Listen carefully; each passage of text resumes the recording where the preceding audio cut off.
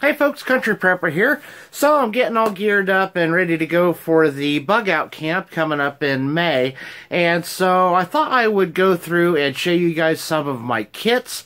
That way when I do the overall bug out bag video of everything I'm going to take, then uh, I don't have to go through every kit and it'll be a little bit shorter video that way. I can just refer back to these videos of the kits and uh, that'll just kind of move things along a little faster. I am going to be testing out some new gear on this little uh, trip, so uh, that's coming up in another video, but for right now, what I want to show you guys is my hygiene kit. Now this is also kind of a VR too, a video I was watching the other day on Guns and Gear Network.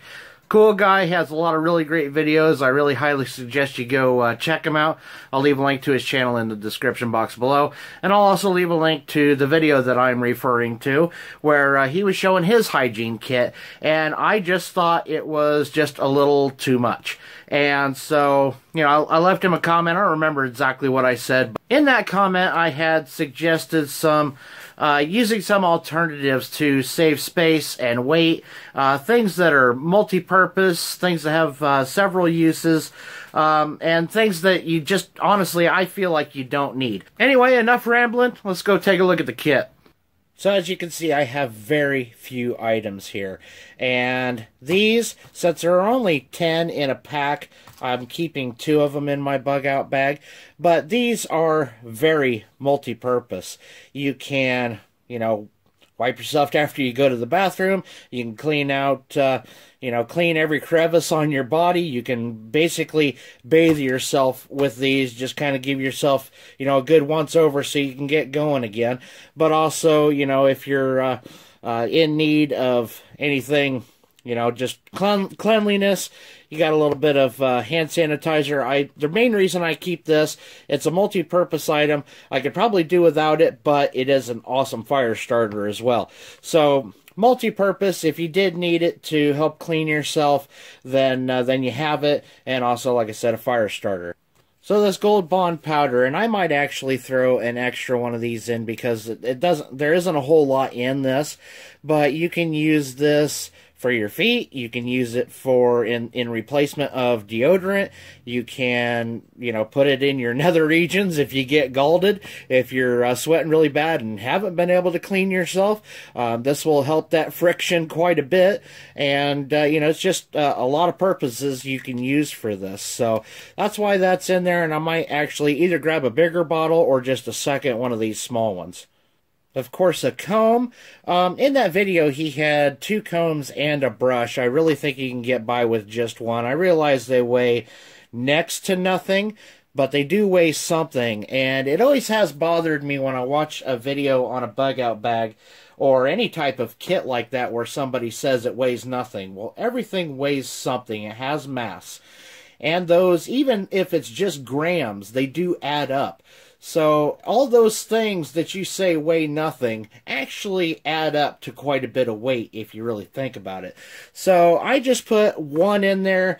If you do happen to have time to lay down and sleep, which is kind of unlikely to be honest, um, you know, you might want to, you might have to, you know, brush your hair out or something before you get going again. You know, if, uh, you know, just one of those things that kind of makes you feel better, and that is kind of a morale booster right there, I think. But, uh, you know, if you do happen to have time, you know, would be a good, nice thing to do for yourself.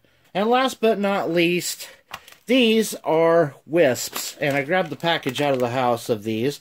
I use these all the time. I've been keeping them in my EDC kits, and uh, I keep them in a bunch of different kits. But these require no water. You don't have to rinse your mouth out. Kind of tastes like gum after you've used it, and uh, it's just something that you can use on the go to keep from you know, having any dental problems. In three days, I really highly doubt you're going to have any dental problems, but you just never know, and it doesn't hurt to keep up on it if you can.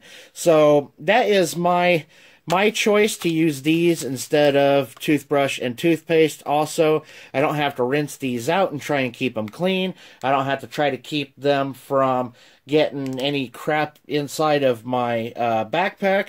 I just use it and throw it out. So it does have a pick on the back, so there's another multi-purpose item. You can use it as a pick if you get something in your teeth, and uh, you know instead of having to also carry dental picks. So really, the whole point of why I'm showing you how minimal my kit is, is just to make you think about what are the things that you can really do without for three days.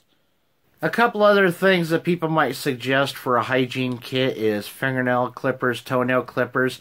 If you want to keep those in there, great. Um, you can get by with just toenail clippers. You can clip your fingernails with toenail clippers. It's not going to kill you.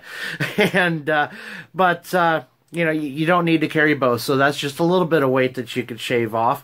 And honestly, I can get by for three days without them. Uh, I really think I can. so uh, if you have, you know, if you end up having some sort of problem, like, uh, I don't know, you have an ingrown toenail or something like that, you can't get those out with regular toenail clippers anyway.